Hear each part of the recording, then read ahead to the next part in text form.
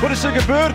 Vroom is naar boven aan het lopen. Wat gebeurt hier in de Ronde van Frankrijk? Een mythische dag wordt het 14 juli 2016. De gele trui is naar boven aan het lopen. Wat is die fiets? Waar is die fiets? Waar is die fiets? Wat is hier allemaal gebeurd? Oh, oh, oh, oh, oh, oh.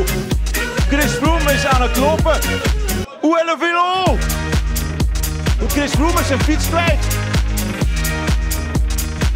Hij is naar boven aan het lopen.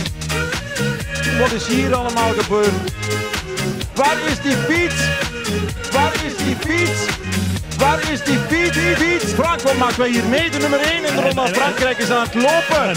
Hij zit hier op een kinderfietsie. Wat maken we hier mee?